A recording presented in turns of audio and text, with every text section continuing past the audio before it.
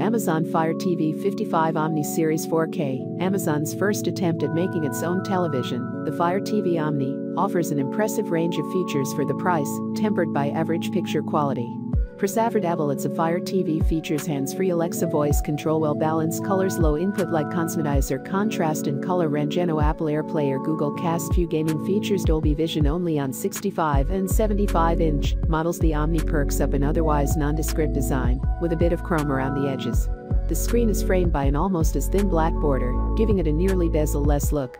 Only the bottom edge has a bezel, a gunmetal strip with the Fire TV logo in the middle, and a small protrusion with near-field microphones below that. A small switch on the underside turns off the mics. The TV stands on two widely placed metal V-shaped legs, or it can be mounted on the wall.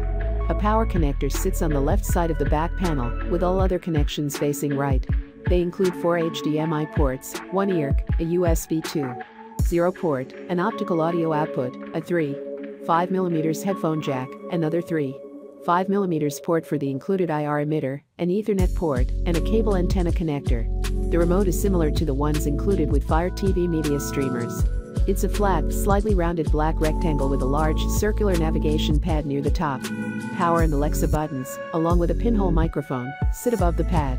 Menu and playback controls are below the pad, with channel and volume rockers below them four dedicated service buttons for Amazon Prime Video, Disney Plus, Hulu, and Netflix can be found near the bottom. The remote connects wirelessly to the TV so you don't need line of sight, but it also has an IR emitter.